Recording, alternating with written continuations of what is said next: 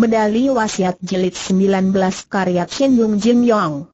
Sesudah merebah di tempatnya, Boh Tian merasa jantungnya masih berdebar-debar. Selang sejenak, tiba-tiba terdengar si Ting Tong lagi berseru pula, Ai, ya ya, mengapa aku telah merangkul badanmu? Tadi, tadi aku mengimpi buruk seakan-akan engkau Tian telah kau pukul hingga mati, ku mohon engkau suka mengampuni jiwanya dan engkau tidak mau. Tapi syukurlah itu hanya dalam impian saja, Boh Tian menjadi agak lega, pikirnya, Ting Ting Tong Tong sungguh pintar berdusta, rupanya khawatir Ye Aye mencurigai diriku, maka dia telah mengarang omongan kosong tentang mimpi segala untuk menutupi kejadian tadi, tapi lantas terdengar Ting Put Sam sedang menjawab, apakah kau mimpi atau tidak? Pendek kata bila hari sudah terang tanah, maka genaplah batas waktu sepuluh hari. Tinggal melihat dia dalam hari terakhir dapat mengalahkan Pek Ban Kiam atau tidak. Ai, ku yakin engkau Tian pasti bukan seorang sinting, kata Ting Tong sambil menghela napas. Ya, hati nuraninya sungguh harus dipuji, sahut Ting Put Sen. Orang yang berhati nurani baik adalah orang tolol, orang sinting, pantas kalau mampus. Ha, dengan Hao Ujiao Jiu memegang Leng Tai Hiat dan dengan Giok Li Cui Chia mencengkeram ke An Ki Hiat, Ai, sungguh akal yang bagus, sungguh tipu yang baik, ucapan Ting Put Sam ini sekaligus membuat kaget baik Ting Tong yang berada di dalam kamar maupun Boh Tian yang berada di buritan. Sungguh susah dipahami dari manakah Seng kakek mengetahui rencana mereka itu, masih mendingan si Boh Tian yang tidak tahu apa-apa, sebaliknya Ting Tong sampai berkeringat dingin, pikirnya, kiranya Ya Ya sudah mengetahui apa yang akan kulakukan, jika demikian diam-diam tentu beliau sudah berjaga-jaga. Untunglah engkau Tian tidak jadi turun tangan. Namun susah dibayangkan juga hukuman apa yang akan dijatuhkan Ia kepadaku di sebelah sana Ciok Boh Tian percaya bahwa besok pagi Ting Put Sam benar-benar akan membunuhnya, dengan seenaknya saja ia terpulas lagi dengan nyenyaknya. Menjelang pagi, sekonyong-konyong terdengar suara orang ribut-ribut di daratan sana. Ada orang sedang berteriak, itu dia, di sini orangnya lalu ada yang menanggapi, ya, betul. Itulah kepalanya, hayo, tangkap, jangan sampai siluman tua itu meloloskan diri. Waktu Boh Tian bangun berduduk, ia lihat di tepi sungai ada puluhan orang dengan penerangan obor sedang berlari-lari ke samping perahu sambil membentak, di mana siluman tua itu? Hayo, hendak lari ke mana siluman tua yang membuat celaka manusia itu? Rupanya Tingput Sam juga terjaga bangun oleh suara ribut-ribut itu, Segera ia keluar dari kamar perahu dan membentak, kurang ajar. Kalian ribut-ribut apa di sini dan mengganggu tidurnya Tuan Besar Munah, inilah dia. Inilah selumannya. Lekas semprot teriak seorang laki-laki.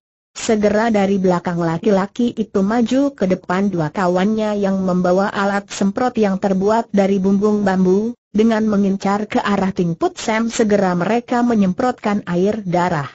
Berbareng itu orang-orang yang berada di tepi sungai sana serentak bersorak, nah, kena dia. Darah anjing hitam telah tepat mengenai siluman tua itu, dia tak bisa menghilang lagi akan tetapi semprotan darah anjing itu mana dapat mengenai tubuh Ting Put Sen. Mendadak orang tua itu meloncat ke atas, pikirnya dengan murka, dari manakah datangnya orang-orang gila ini?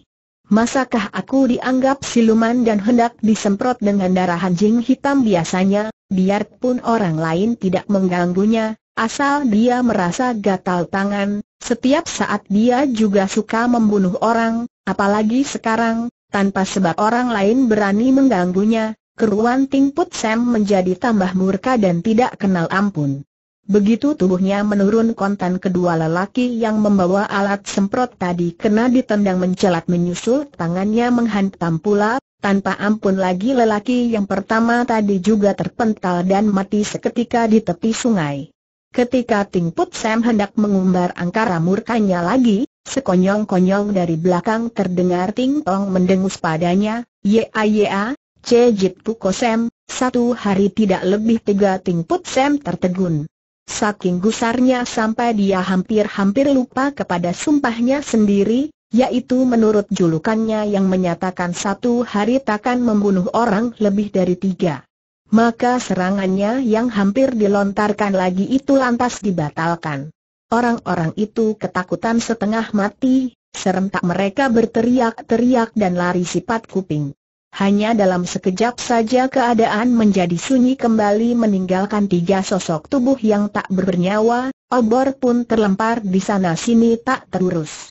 Segera Ting Put Sam berkata kepada si tukang perahu, lekas berangkat, kalau kedatangan orang lagi aku bisa kewalahan membunuh mereka dengan tangan gemetar si tukang perahu lantas mengangkat galah dan menolak perahunya ke tengah sungai, lalu meluncurlah perahu itu ke depan. Darah anjing yang tidak mengenai tubuh Ting Put Sam tadi telah menyemprot ke dalam perahu sehingga menimbulkan bau anyir busuk.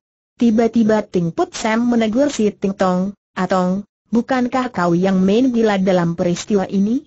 Sebab apa kau berbuat demikian ya sahut Ting Tong dengan tertawa, kau pegang janji atau tidak terhadap apa yang telah kau ucapkan bilakah aku pernah mengingkar janji sahut Ting Put Sen? Bagus kata Ting Tong. Kau mengatakan bahwa habis sepuluh hari bila engkau Tian tidak mengalahkan orang sipek itu, maka engkau Tian segera akan kau bunuh.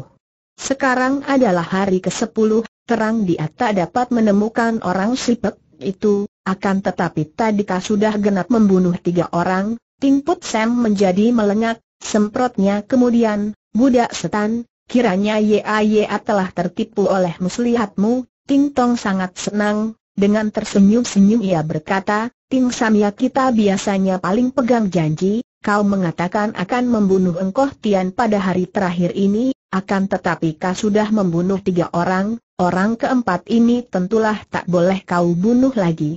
Ya ya, jikalau kau tidak dapat membunuh dia, untuk seterusnya kau pun tidak boleh membunuh dia lagi.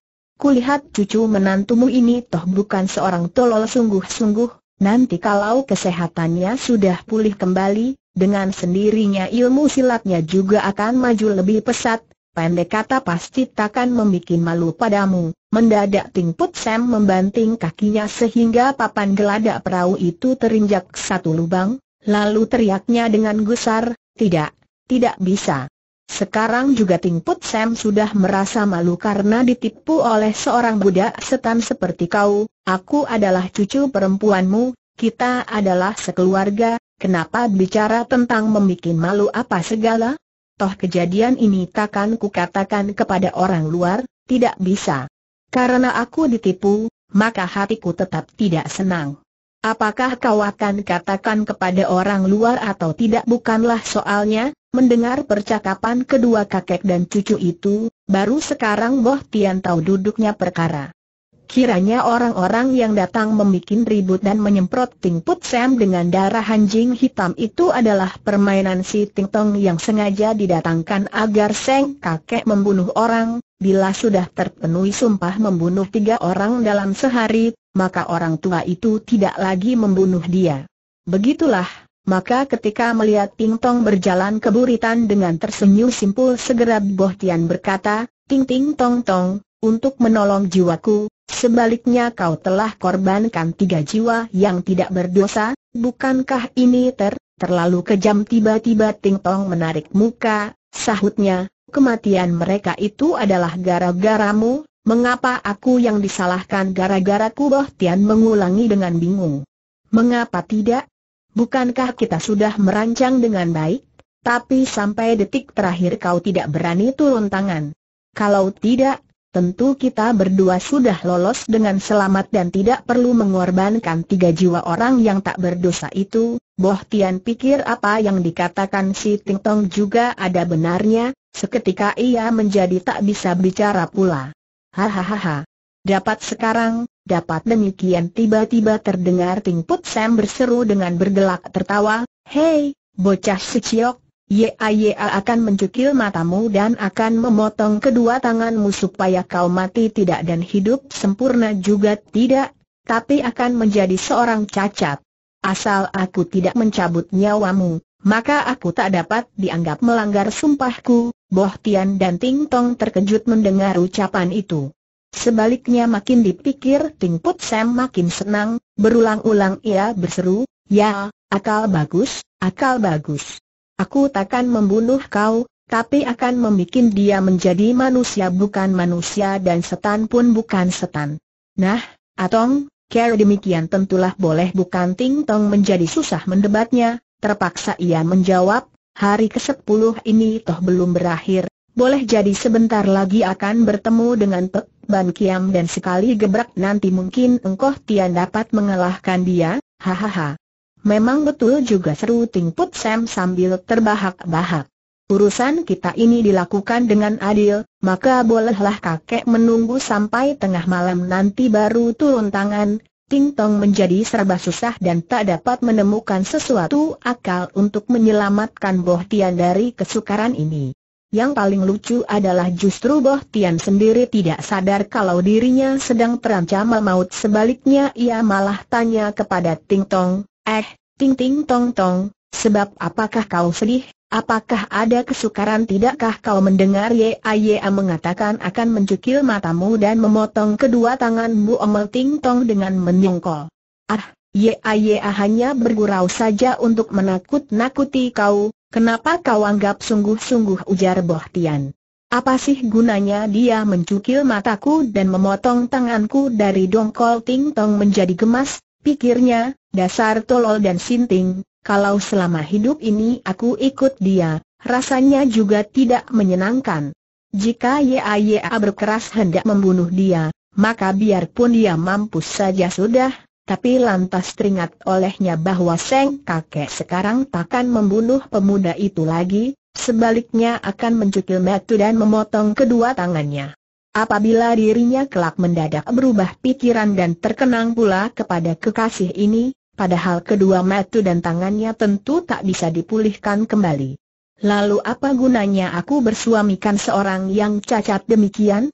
Begitulah Ting Tong termenung-menung memandangi bayangan sendiri yang terapung di permukaan air bersama bayangan Ciok Boh Tian, makin lama makin memanjang mereka, ternyata tanpa terasa hari sudah makin sore, Seng Surya sudah makin condong ke barat. Dalam kesalnya tiba-tiba terpikir pula oleh Ting Tong, daripada suamiku yang baik-baik dibikin cacat oleh YAYA, adalah lebih baik aku sendiri yang mengerjakan dia saja. Ketika berpaling, dilihatnya duduk Ciok Boh Tian sedang membelakanginya, mendadak ia menjulurkan kedua tangannya terus mencengkeram keleng tai hiat di punggung dan kuan ki hiat di bagian pinggang, jurus-jurus lain yang digunakan adalah Hao Ujiao Jiu dan Giok Li Cui Ciam. Memangnya Coboh Tian tidak berjaga-jaga, keruan ia lantas kena dibekuk dengan mudah, seketika ia tak bisa berkutik. Sebaliknya karena bekerjanya tenaga dalam Ciok Boh Tian, maka Ting Tong juga tergetar dan terhuyung-huyung ke belakang, hampir-hampir saja kecemplung ke dalam sungai. Cepat ia memegangi atap kolong perahu dan memaki, Ya Ya segera akan mencukil matamu dan memotong kedua tanganmu, Orang cacat demikian kalau hidup di dunia ini andaikan tidak membuat malu kepada Ya Ya juga aku si Ting Ting Tong Tong yang merasa tiada muka untuk berjumpa dengan orang. Maka tidak perlu Ya Ya yang turun tangan, biarlah aku sendiri yang mencukil kedua biji matamu. Segera ia mengambil seutas tambang layar di buritan, lalu kaki dan tangan Boh Tian diringkusnya dengan kencang, Bahkan ia terus membelebat Ciok Boh Tian mulai dari bahu sehingga sampai bagian kaki, ia ikat badan pemuda itu dengan tambang layar itu selingkar demi selingkar sehingga seluruhnya paling sedikit ada 50-60 lingkar, sampai akhirnya badan Ciok Boh Tian mirip sebuah lemper raksasa. Mestinya orang yang dicengkeram hiat sepenting seperti Ciok Boh Tian sekarang akan susah membuka suara di dalam waktu 1-2 jam.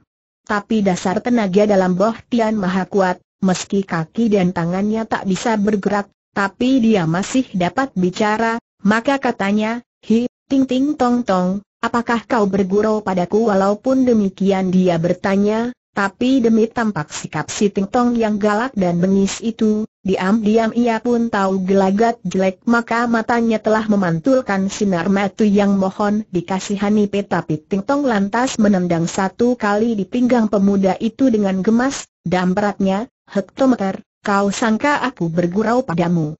Kematianmu sudah di depan mata, tapi kau masih bermimpi?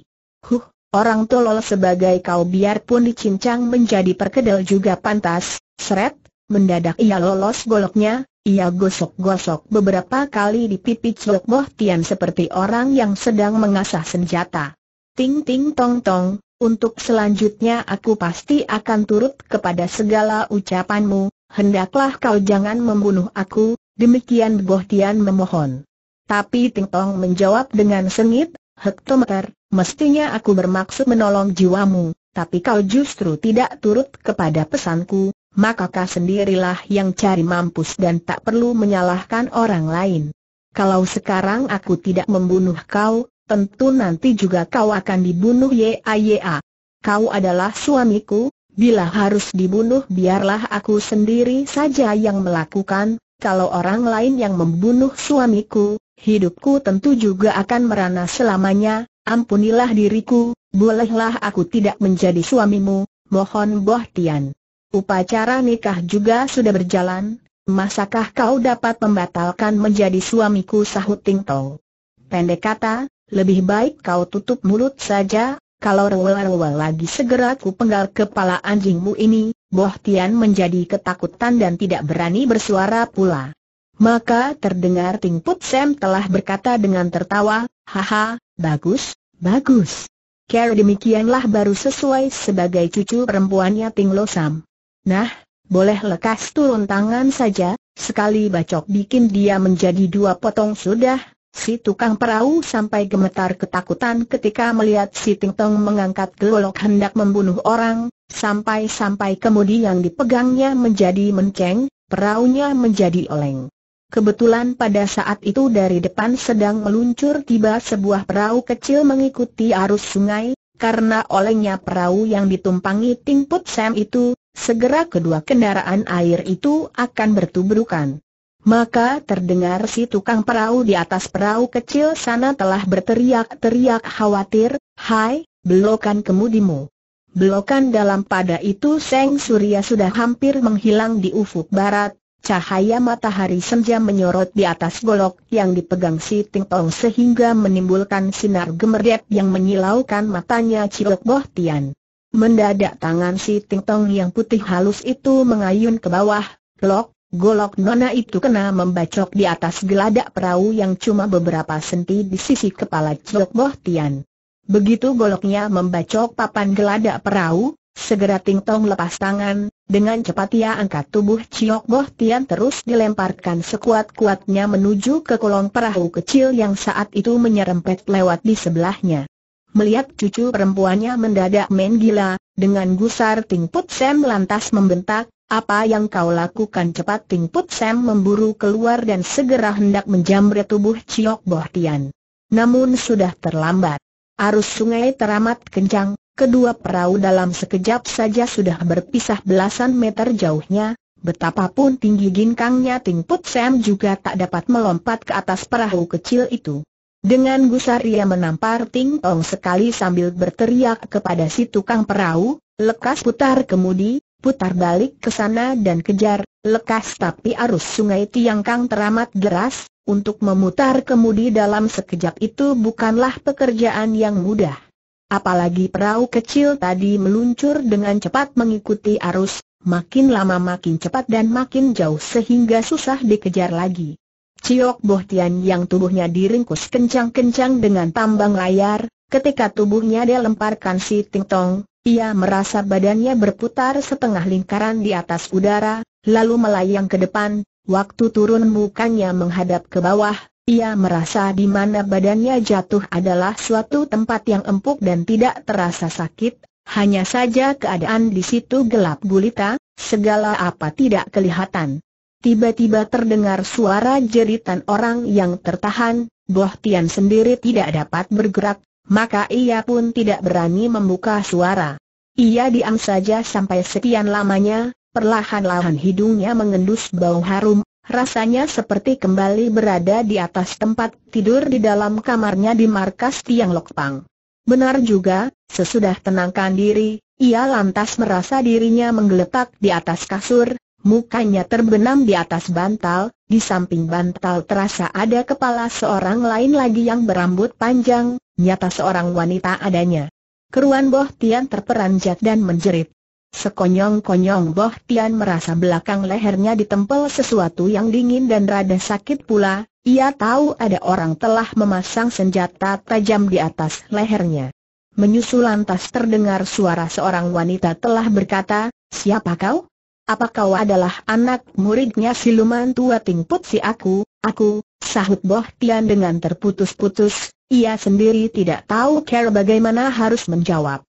Wanita itu menjadi gusar, dan peratnya pula, kau berani menyusup ke dalam perahu kami, tentu kau bukan manusia baik-baik, biarlah nona binasakan kau saja, habis berkata, segera ia tambahkan tenaga tangannya sehingga Boh Tian merasa belakang lehernya kesakitan.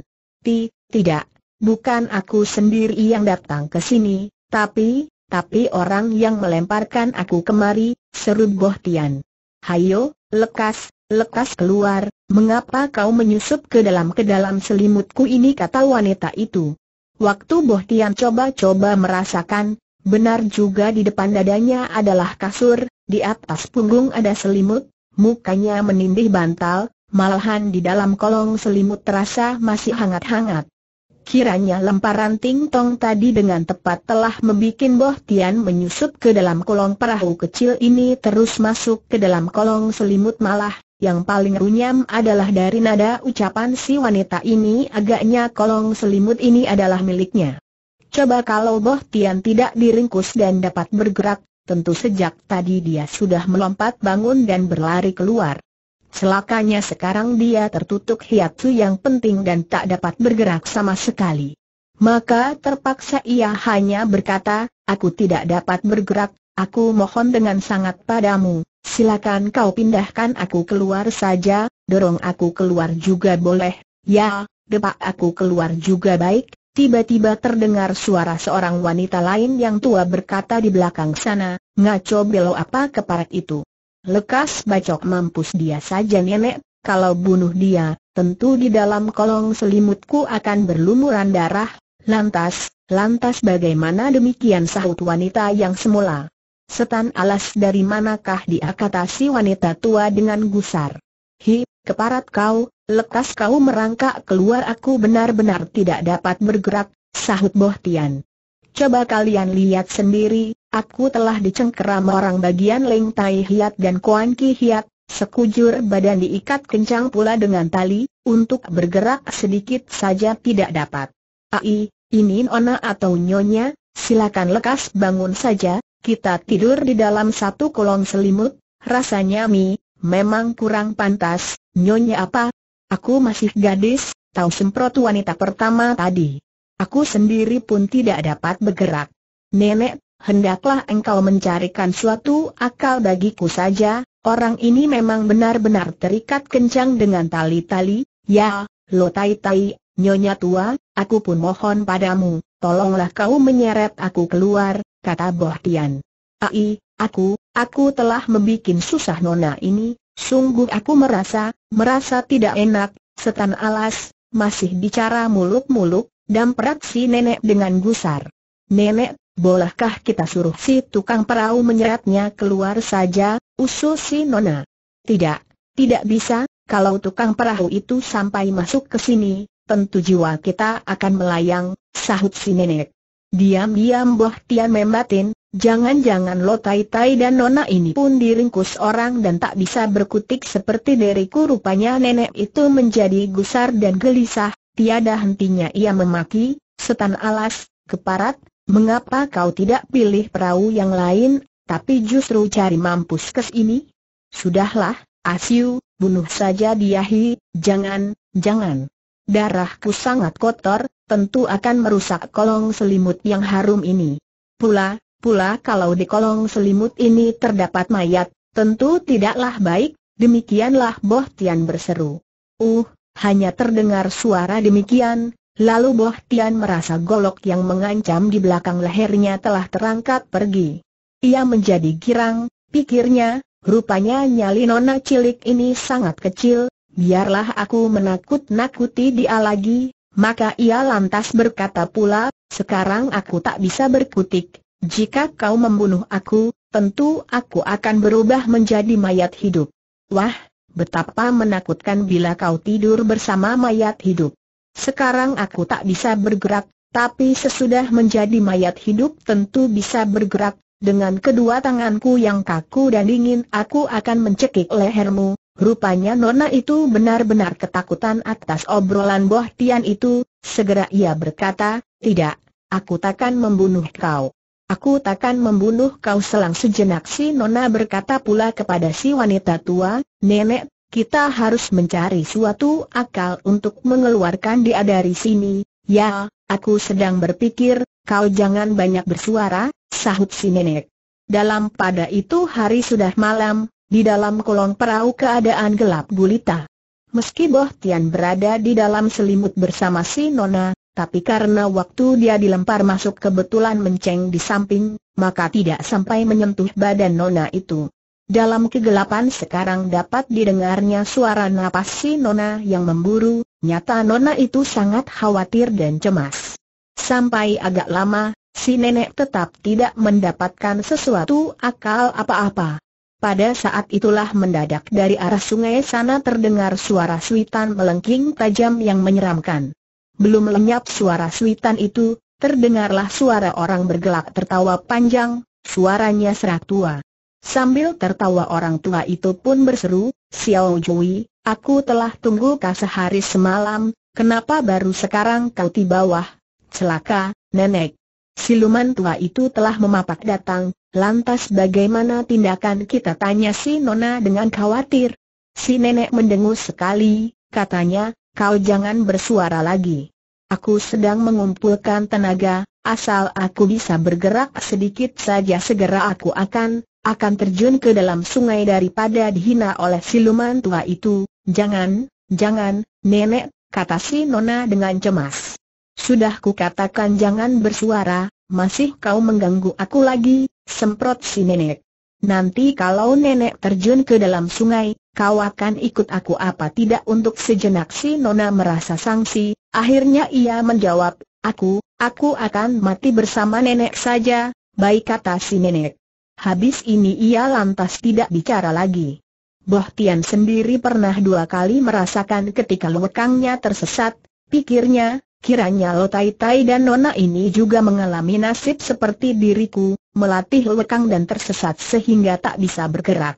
Celakanya pada saat ini musuhnya telah mengejar tiba, keadaan mereka benar sangat sulit, dalam pada itu suara si orang tua tadi terdengar pula dari hilir sungai sana, sekarang boleh kau pilih, mau tanding pedang boleh, mau adu kepalan juga jadi, Ting Lo si pasti akan mengiringi kau, kita boleh bertempur tiga hari tiga malam barulah menyenangkan. Nah, Xiao Jui, mengapa kau tidak menjawab dari suara orang tua itu rasanya jaraknya sekarang sudah semakin mendekat lagi. Selang tak lama, mendadak terdengar suara gemerencing rantai besi, menyusul lantas terdengar suara gedubrak yang keras, suatu benda yang berat telah jatuh di atas perahu si nenek. Kiranya dari kapal yang memapak dari depan itu telah dilemparkan sebuah jangkar berantai. Seketika Boh Tian merasa badannya miring sebelah, rupanya perahunya menjadi doyong karena tertimpa jangkar yang berat itu. Hei, hei, mau apa itu demikian si tukang perahu berteriak-teriak kaget. Karena miringnya perahu, badan Boh Tian lantas menggelinding ke samping, Sebaliknya si Nona juga lantas menggelinding dan bersandar di badan pemuda itu. Wah, ini, ini, demikian Boh Tian ingin minta si Nona jangan menempelkan tubuhnya itu, tapi segera teringat Nona itu pun serupa dirinya dalam keadaan tak bisa berkutik maka kata-kata yang akan diucapkan itu lantas ditelan kembali. Dalam pada itu terasa ada orang melompat ke atas perahu mereka, hanya sekejap saja imbangan perahu itu sudah pulih kembali. Xiao Jui, terdengar seorang tua tadi berkata di haluan perahu, Sekarang aku sudah datang, apakah kita akan segera bertanding? Eh, jangan kau main begitu, kedua perahu bisa berjungkir semua, seru si tukang perahu di buritan dengan khawatir. Si orang tua menjadi gusar, keparat, tutup bacotmu segera ia angkat jangkar tadi dan dilemparkan kembali. Begitu dua perahu terpisah, segera terhanyut ke hilir semua mengikuti arus. Melihat betapa hebat tenaga orang itu, jangkar besi yang bobotnya beberapa ratus kati dilemparkan kian kemari dengan seenaknya saja, keruan si tukang perahu ternganga kaget dan tak berani bersuara lagi.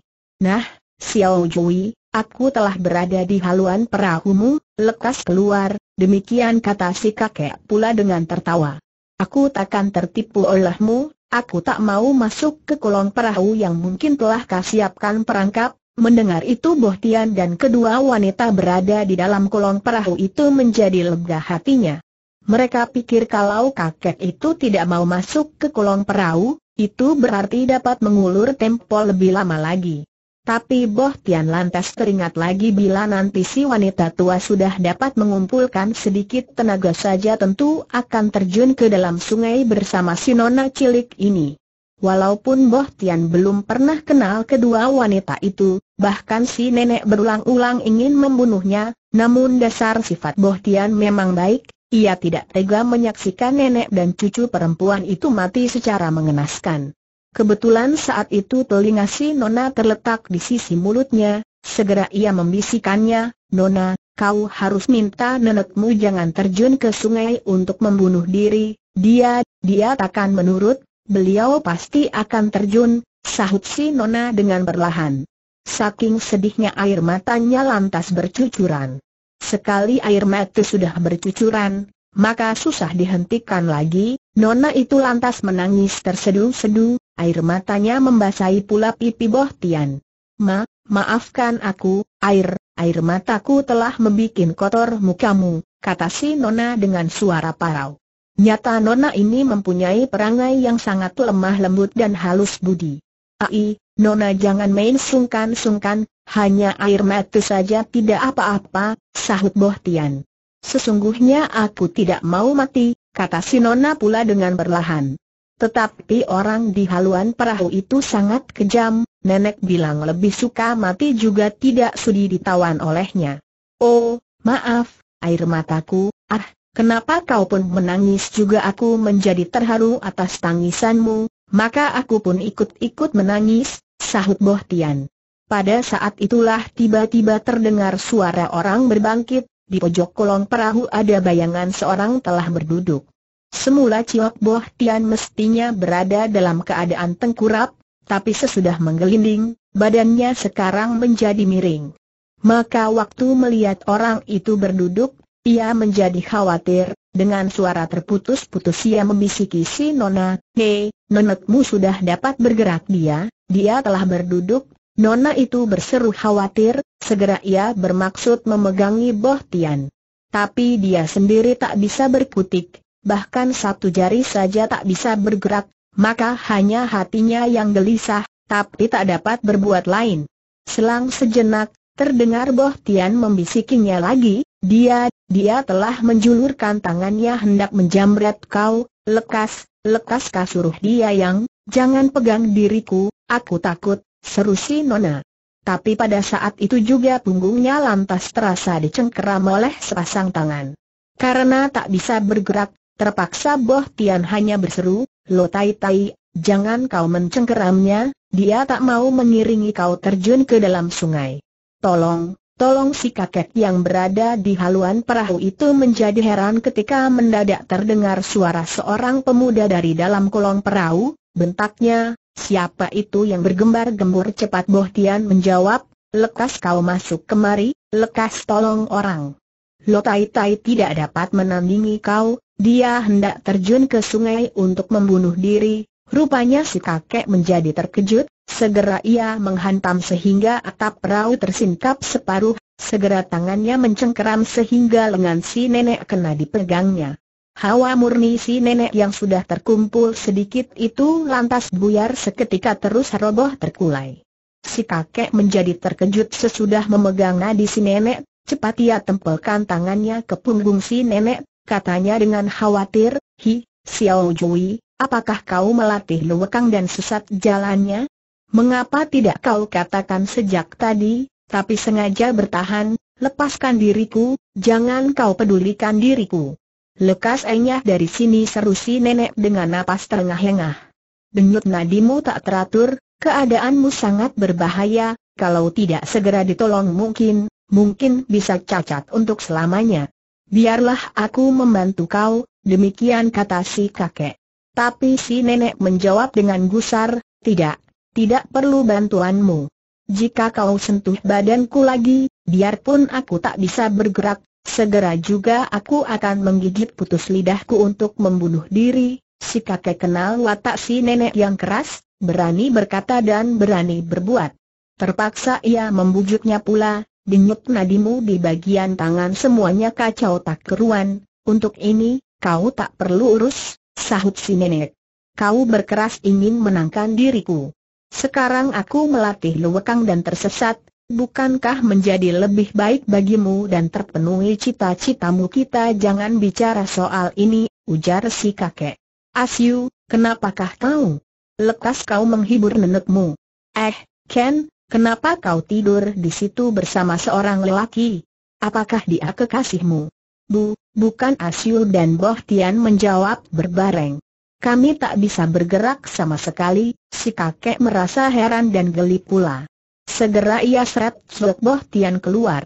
Tak terduga seluruh badan Boh Tian terikat dengan kencang oleh tambang sehingga kaku lempeng, pinggang tak bisa membungkuk, tangan tak bisa melengkung, karena diseret, seketika tubuhnya terangkat menegak ke atas sehingga membuat kaget si kakek. Sesudah jelas duduknya perkara, kakek itu terbahak-bahak geli, katanya, Asyu, apa kau kelaparan, maka kau menyimpan sebuah lemper raksasa di kolong selimutmu bukan? Sahut si Asyu cepat, dia, dia melayang masuk sendiri dari luar dan bukan, bukan aku yang menyimpannya, kau sendiri juga tidak bisa bergerak, apakah kau pun ingin menjadi lemper raksasa kata si kakek. Mendadak si nenek membentak dengan bengis, jangan kau coba menyentuh Asyu atau segera aku mengadu jiwa dengan kau, baik, aku takkan menyentuh dia, sahut si kakek. Lalu ia menoleh kepada si tukang perahu dan berkata, Juru mudi, putar haluan, pasang layar, kalau aku suruh kau berhenti harus segera berhenti si tukang perahu tidak berani membangkang, terpaksa ia menurut segala perintah itu. Apa yang hendak kau lakukan seru si nenek dengan gusar. Aku akan membawa kau ke PLWSan untuk merawat kau dengan baik-baik, sahut si kakek. Tidak, Mati pun aku takkan ke PLWSan, Gunung Keong Hijau, bantah si nenek. Aku toh tidak kalah padamu, mengapa kau memaksa aku datang ke sarang anjingmu bukankah kita sudah berjanji akan bertanding di sungai Tiangkang ini? Kalau aku kalah, aku akan datang ke rumahmu dan menyembah padamu. Sebaliknya kalau kau kalah, kau harus ikut ke rumahku. Sekarang aku tak peduli apakah kau melatih luwekang dan tersesat atau kau kalah bertempur, pendek kata sekali ini kau harus ikut aku ke PLWSan, tidak, aku tidak mau ke sana. Tidak, baru sekian si nenek menjerit dengan murka, mendadak napasnya menjadi sesak, orangnya lantas pingsan. Hahaha. Mau tidak mau kau harus ikut aku ke sana, kata si kakek dengan tertawa. Hari ini sudah terang kau tak berkuasa lagi, eh, kalau dia tidak mau pergi, mana boleh kau memaksa orang demikian Boh Tian telah menimbrung. Si kakek menjadi gusar, siapa suruh kau ikut-ikut kentut bentaknya, berbareng ia menampar ke muka Ciok Boh Tian. Tampaknya pemuda itu pasti akan puyeng tujuh keliling kena tempelengan itu, boleh jadi giginya bisa rontok pula semua. Tapi sekilas tiba-tiba si kakek melihat di pipi Boh Tian terdapat sebuah cap tangan yang hitam gosong, ia menjadi tertegun dan menahan pukulannya. Katanya dengan tertawa, aha, lemper raksasa, kukira siapa yang meringkus kau sedemikian rupa, kiranya adalah perbuatan aku punya cucu keponakan perempuan yang nakal itu. Bekas tamparan di mukamu ini bukankah adalah pukulan cucu keponakan perempuan cucu keponakan perempuanmu Boh Tian menegas dengan bingung. Oh, barangkali kau belum tahu siapa diriku ini.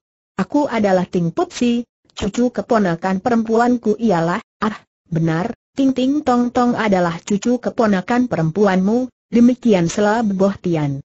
Ya, memang si Ting Ting Tong Tong yang telah menampar pipiku ini. Dia pula yang telah meringkus aku dengan tali tadi.